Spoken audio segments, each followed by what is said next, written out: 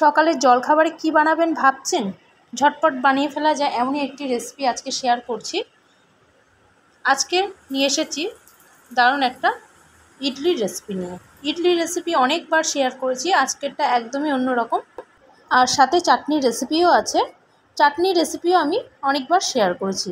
তো কেউ যদি দেখে না থাকেন, তাই আজকে আবারও শেয়ার করছি এই চাটনির রেসিপি শুরু করছি তাহলে আজকের রেসিপি প্রথমে চাটনিটা বানিয়ে নেব, তার জন্য কড়াইতে দিয়ে দিলাম বড় এক চামচ সাদা তেল। তেল গরম হলে এর মধ্যে দিয়ে দিলাম ছোটো বাটির অর্ধেকটা চিনে বাদাম। চিনে বাদামগুলো হালকা একটু ভেজে নিতে হবে। বাদাম ভাজা হয়ে গেলে এর মধ্যে দিয়ে দিলাম মিডিয়াম সাইজের একটা ঝিরিঝিরি করে কেটে নেওয়া একটা পেঁয়াজ, আর তারই সাথে দিয়ে দিলাম দশ থেকে বারো কোয়া রসুন। এটাও হালকা একটু ফ্রাই করে নিতে হবে। বাদামের সাথে আমি রসুন আর পেঁয়াজটা হালকা একটু ফ্রাই করে নিলাম। খুব বেশি লালচে করে ভাজার দরকার নেই। এর কালারটা চেঞ্জ হওয়া পর্যন্ত একটু ভেজে নিতে হবে। এখন এর মধ্যে দিয়ে দিলাম চার থেকে পাঁচটা শুকনো লঙ্কা। শুকনো লঙ্কাটা দিয়েও হালকা একটু নাড়াচাড়া করে নিয়ে এর মধ্যে দিয়ে দিলাম দুটো ছোট সাইজে কেটে নেওয়া টমেটো। আর এর মধ্যে দিয়ে দিলাম সামান্য লবণ। লবণ দিলে খুব তাড়াতাড়ি টমেটোটা গলে যাবে। দু মিনিট একটু ঢাকা দিয়ে রাখছি লো ফ্লেমে যাতে টমেটোটা খুব তাড়াতাড়ি নরম হয়ে যায়। দু মিনিট পর ঢাকনাটা সরিয়ে আবার একটু নাড়াচাড়া করে নিচ্ছি। এখন দেখুন টমেটোটা অনেকটাই সফট হয়ে গেছে। এবার এর মধ্যে অল্প দিয়ে দেব সাম্বার মশলা। এই চাটনির মধ্যে যদি একটু সাম্বার মশলা দেওয়া যায়, এর টেস্টটা কিন্তু আরও বেড়ে যায়। আর যদি আপনাদের কাছে না থাকে, আপনারা স্কিপ করতে পারেন। এটা ভাজা হয়ে গেছে আর এটা আমি ঠান্ডা করে নিয়ে মিক্সার জারে দিয়ে এর একটা পেস্ট বানিয়ে নেব। এটা ঠান্ডা হতে থাক, ততক্ষণ আমি ইডলির ভেতরে যে পুরটা ভরবো, সেই পুরটা রেডি করে নেব। কড়াই বসিয়ে দিয়েছি আর কড়াইতে দিয়ে দিলাম এক চামচ সাদা তেল। তেলটা গরম হলে এখন এর মধ্যে দিয়ে দেব তিনটে মিডিয়াম সাইজের কুচনো পেঁয়াজ। পেঁয়াজটা হালকা একটু ফ্রাই করে নিতে হবে, খুব বেশি লালচে করে ভাজার দরকার নেই। আর তারই সাথে দিয়ে দিলাম চার থেকে পাঁচটা কুচনো কাঁচা লঙ্কা। হালকা একটু ফ্রাই করে নিতে হবে। পেঁয়াজটা মিডিয়াম টু হাই ফ্লেমে পেঁয়াজের দু মিনিট নাড়াচাড়া করে নিলাম। এখন এর মধ্যে দিয়ে দিচ্ছি টমেটো সস। বড় তিন চামচ টমেটো সস দিয়ে দিচ্ছি। দিয়ে দিচ্ছি এক চামচ সয়া সস। সয়া সস খুব বেশি দেওয়ার দরকার নেই, অল্প দিলেই চলবে। আর এর মধ্যে আমি এখন দিয়ে দিচ্ছি বড় এক চামচ ম্যাগি মশলা। দিয়ে দিচ্ছি সামান্য লবণ। লবণটা স্বাদ মতোই দেবেন, কারণ সয়া সসে কিন্তু একটু লবণ থাকে। সসগুলো অ্যাড করার পর খুব বেশি কুক করার দরকার নেই, একটু নাড়াচাড়া করে নিয়ে এবার গ্যাস অফ করে দিলাম। আর এদিকে মশলাটা আমার ঠান্ডা হয়ে গেছে, এখন মিক্সার জারে দিয়ে দিলাম।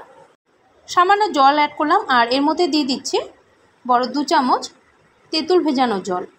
তেঁতুলের জলটা দিলে চাটনির মধ্যে একটা টক ভাব আসবে, আর যদি আপনাদের কাছে তেঁতুল না থাকে, আপনারা তার পরিবর্তে লেবুও ব্যবহার করতে পারেন, লেবু রসটা। আর স্বাদ মতো লবণ দিয়ে এর একটা এখন পেস্ট বানিয়ে নিলাম। চাটনিটা আমাদের তৈরি হয়ে গেছে।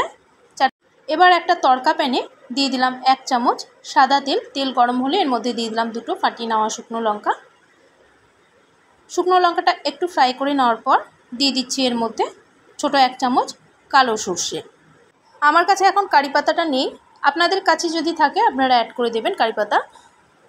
একটু ফ্রাই করে নেওয়ার পর এখন এই যে এটা আছে, এটা আমি চাটনির মধ্যে ঢেলে দেবো, দিয়ে ভালো করে মিক্স করে নেব। তাহলে তৈরি হয়ে গেল এই চাটনি।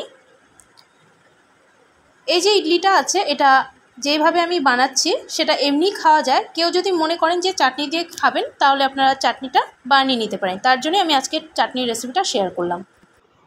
এটা ঢেলে দেওয়ার পর এখন ভালো করে মিক্স করে নিচ্ছি। চাটনি আমাদের রেডি হয়ে গেল। এটা এক সাইডে রেখে দিচ্ছি। এখন ইডলি বানানোর জন্য ব্যাটারটা রেডি করে নেব।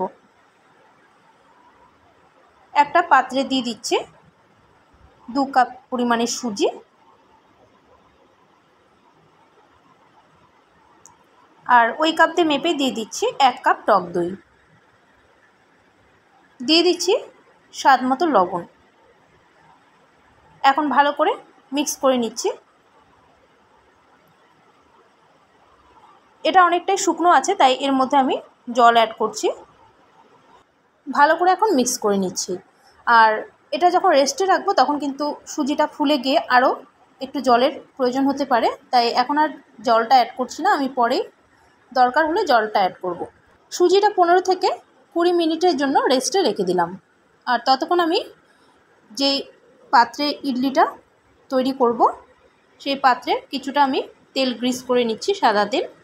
ইডলি পট আপনাদের কাছে না থাকলে আপনারা ছোট সাইজের যে স্টিলের বাটিগুলো থাকে, ছোট বা যে কোনো সাইজের সেই বাটির মধ্যে এই ইডলি ব্যাটারটা ঢেলে আর একটা কড়াইয়ের মধ্যে জল একটু ফুটিয়ে নিয়ে তার উপরে একটা প্লেট বা থালা রেখে বাটিগুলো বসিয়ে স্টিম করে নিলে কিন্তু খুব সহজে তৈরি হয়ে যাবে এই ইডলি। কুড়ি মিনিট রেস্টে রেখেছিলাম আর সুজিটা ফুলে গিয়ে দেখুন, জল পুরো টেনে নিয়েছে। এর মধ্যে আরও একটু আমি জল অ্যাড করে নিচ্ছি। ব্যাটারটা কিন্তু খুব বেশি পাতলাও হবে না, আবার খুব বেশি ঘনও হবে না। মোটামুটি একটা আন্দাজ মতো ব্যাটারটা তৈরি করে নিতে হবে। ব্যাটারটা ভালো করে মিক্স করে নেওয়ার পর এর মধ্যে দিয়ে দিচ্ছি ছোট এক চামচ বেকিং সোডা। বেকিং সোডা আপনাদের কাছে না থাকলে আপনারা ছোট এক চামচ ইনো ব্যবহার করতে পারেন। আর এটা ধীরে ধীরে মিক্স করছি আর দেখুন ধীরে ধীরে এটা লাইট আর ফ্লাফি হচ্ছে। আর দেখুন ব্যাটারটা কিন্তু অনেকটাই লাইট হয়ে গেল। আর ঠিক এইভাবে ব্যাটারটা তৈরি করে নিতে হবে। আর যে ইডলি মোল্ডগুলোতে আমি তেল গ্রিস করে নিয়েছিলাম, এখন ব্যাটারটা আমি দিয়ে দিচ্ছি, সুজির এই ব্যাটার। এক চামচ করে ব্যাটার দিচ্ছি। প্রথমে ভরে দেবেন না, একটু অল্প করে দিতে হবে। আর যেই আমি পুরটা রেডি করে নিয়েছিলাম পেঁয়াজের সেটা আমি উপর দিয়ে দিয়ে দিচ্ছি। এক চামচ করে দিয়ে দিচ্ছি। আর পেঁয়াজের এই পুরটা দেওয়ার পর ওপর থেকে আবারও এক চামচের মতো দিয়ে দিচ্ছি। এই সুজির ব্যাটার। সব কটা এইভাবেই তৈরি করে নিতে হবে। আর যতটুকু আমি সুজির ব্যাটার তৈরি করেছিলাম, তাতে এই কটাই ইডলি তৈরি হয়েছে। এখন এটা আমি স্টিম করে নেব। আমি ইডলি পটে আগে জল ফুটতে দিয়েছি। এর মধ্যে এখন ইডলিগুলো দিয়ে স্টিম হতে দেব। পনেরো মিনিট স্টিম হতে দেব। প্রথমে গ্যাসের ফ্লেমটা হাইতে রেখে তারপর মিডিয়ামে রাখতে হবে। এখন ঢাকনা লাগিয়ে দিচ্ছি। দিয়ে পনেরো মিনিট আমি মিডিয়াম টু হাই ফ্লেমে এটা স্টিম করে নেব। পনেরো মিনিট পর এখন ঢাকনাটা খুলে নিচ্ছি। আর দেখুন, ইডলিগুলো একদম তৈরি হয়ে গেছে। আর চেক করে নিচ্ছি ছুরি দিয়ে। একটুকু কিন্তু এর মধ্যে লেগে নেই, তার মানে পারফেক্টভাবে এই ইডলিটা তৈরি হয়ে গেছে। একটু ঠান্ডা হয়ে যাওয়ার পর এখন আমি একটা চামচের সাহায্যে এটা তুলে নিচ্ছি। আর দেখুন, ইডলিগুলো কতটা সফট হয়েছে। একটুকু কাঁচা ভাব নেই, এর মধ্যে আমি আপনাদের একটা কেটে দেখিয়ে দিচ্ছি। এই ইডলির সাথে সাম্বারেরও দরকার হয় না চাটনিরও দরকার হয় না। এমনি খাওয়া যায়, এমনি খেতে খুব ভালো লাগে। যদি কেউ মনে করেন চাটনি দিয়ে খাবেন, তাহলে আপনারা চাটনি দিয়েও খেতে পারেন। চাটনির রেসিপিটা আমি শেয়ার করেই দিলাম। তাহলে দেখুন, একটা কেটে দেখিয়ে দিলাম। একটুকু কিন্তু এর মধ্যে কাঁচা ভাব নেই। খেতে খুবই ভালো লাগে এই সুজির ইডলি, আর এটা ঝটপট তৈরি হয়ে যায়। খুব একটা বেশি সময় লাগে না। আর যদি মনে হয় চাটনি দিয়ে আপনারা খাবেন, তাহলে চাটনিটা আগের দিন রাতে রেডি করে রেখে দিতে পারেন। তারপর সকালে ঝটপট এই ইডলিগুলো বানিয়ে নিতে পারেন। একদমই নতুনত্ব একটা রেসিপি রেসিপিটি ভালো লাগলে প্লিজ আপনাদের কাছে অনুরোধ রইল এই রেসিপি বানানোর জন্য। রেসিপি ভালো লাগলে প্লিজ লাইক শেয়ার এবং সাবস্ক্রাইব করতে ভুলবেন না।